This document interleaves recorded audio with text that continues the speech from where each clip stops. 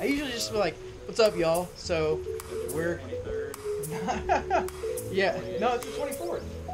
February 24th, 2018. Yeah, boy, And uh, we're we're going out. it's raining, yeah.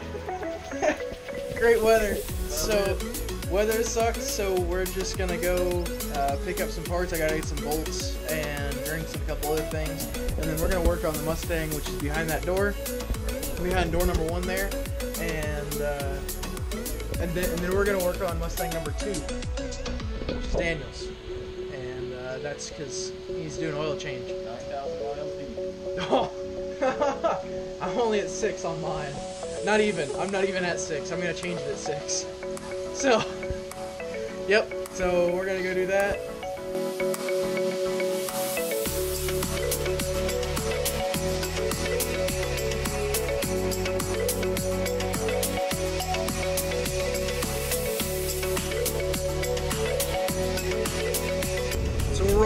Over here at Roscoe's Tacos. I haven't eaten today. I'm hungry. Big guy's gotta eat. Alright, alright. Let's try this again. This is, of course, the burr I was looking for. It's sitting right under the GoPro. Let's try this.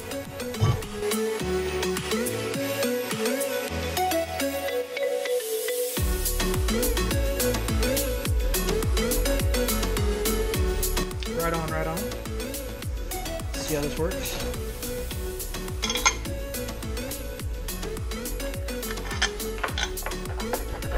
Over. All right. This goes on. About like that is how I want it,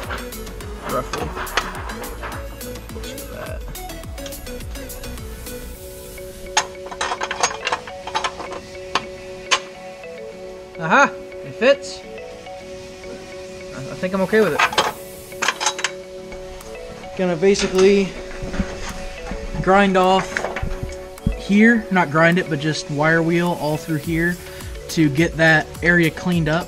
And then I'm gonna repaint it with some zinc spray paint. Daniel's gonna change the oil on his crowd killer. And then I'm gonna try to get this thing welded up in here and finally start putting the car back together at that point.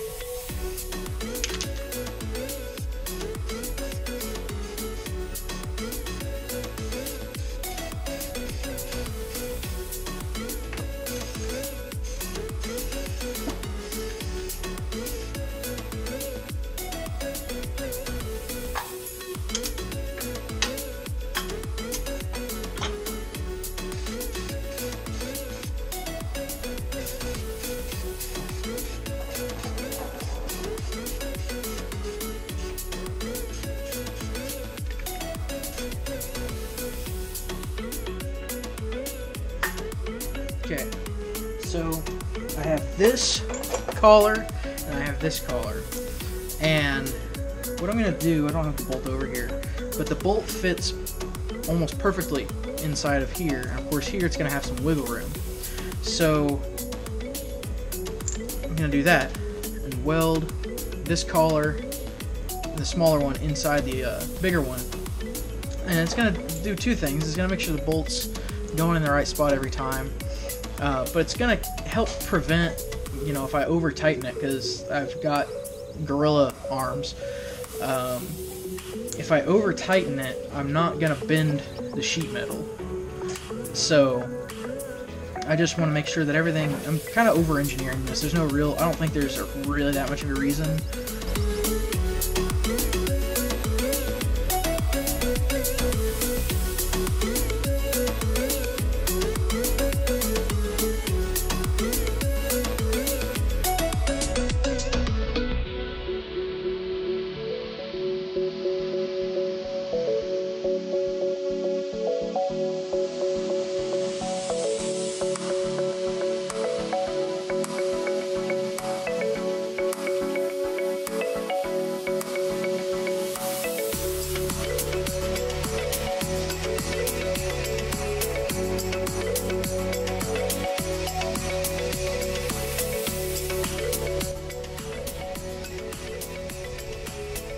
Oh, it's you mean it's it's catching on the pad? Yep.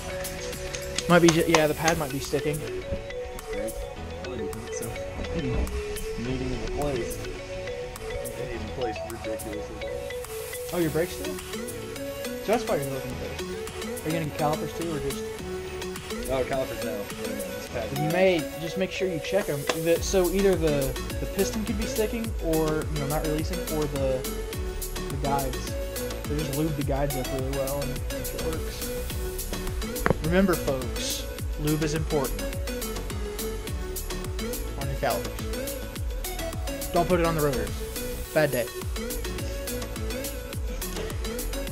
Gonna wait for this to dry and uh, pop the bolts in. I'm actually really happy with it. Um, pop the bolts in from the bottom, um, and then can finally start reassembling this car. Holy crap! That's awesome. So I've got a new bumper sitting over there. Oh yeah, that's right. So this is the first video that this car is actually going to appear in on my channel. Uh, I mean, officially appear in. So, uh, 92 Mustang, been hit in the front twice, bare minimum. It's probably been hit more than that from previous owners. Uh, but for me, it's been hit twice in the front end. Uh, so this was from the last one. You can see, I don't even know what that wire goes to anymore. Like that's how screwed up this is. Um, it's pretty bad. But when I took the fender off on this side, I noticed a whole bunch of rust, and I was like, screw it, I'm fixing the rust. So it's been like three months, something like that. It's been close to three months since I started on that, which it, it's not been my priority. So uh, anyway, the uh, water pump, the entire cooling system was broken. The it had factory AC, um, so I basically just completely took the AC off. I said screw it. Um, don't really want it. It's gonna be a track car. So I bought all new hoses. I've got a new thermostat. I'll repaint this. Got a new water pump. Um, I did. The car wouldn't start afterward, and uh, I spent like a week thinking that my fuel pump relay, which is, I believe it's right here. I believe that's what it was. I, I kind of can't remember at this point. Um, I chased down wires everywhere. I even rebuilt the computer. There were actually three. Uh, we go look at it. Ish.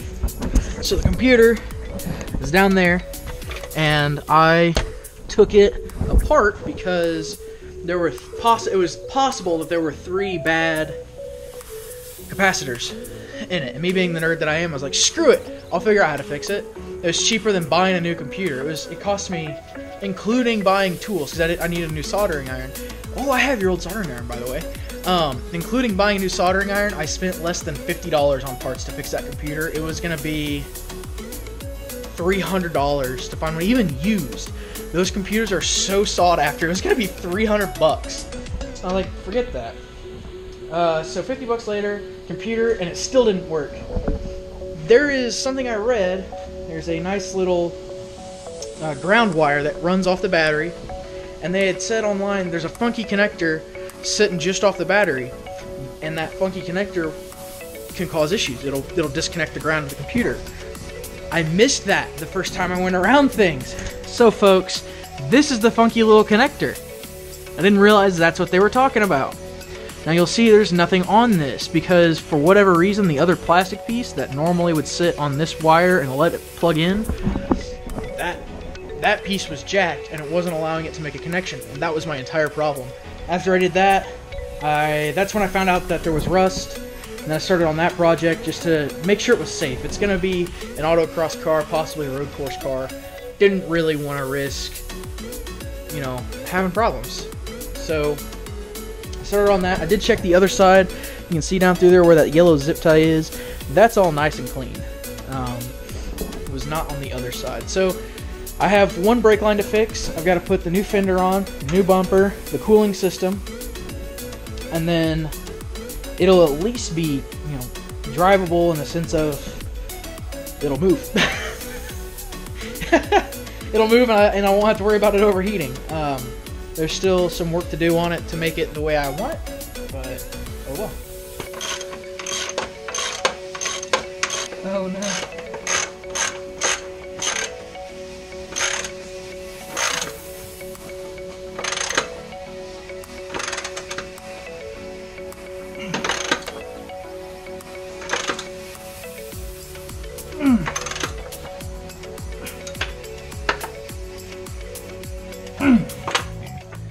It is now 10:40-ish, and what do we have here? Uh, well, that's a bumper. It's not fully installed. Actually, if I touch it too much, it'll fall off. But uh, what's what's this? Is that a wheel? Is that thing touching the ground? There's no more jack stand.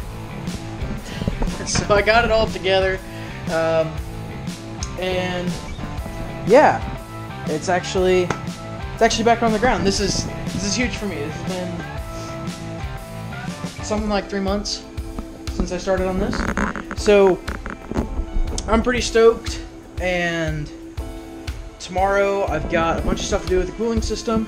I've got to I gotta figure out how to mount this fender better because there's you know stuff is not lining up the way it should. And then once the fender's on, I can work it, work on getting the bumper mounted. But more importantly, I can smash this out or pull it out a little bit more, make room for the radiator, and I can put the cooling system on. Because you can drive the car without a bumper. Yeah, no, you can.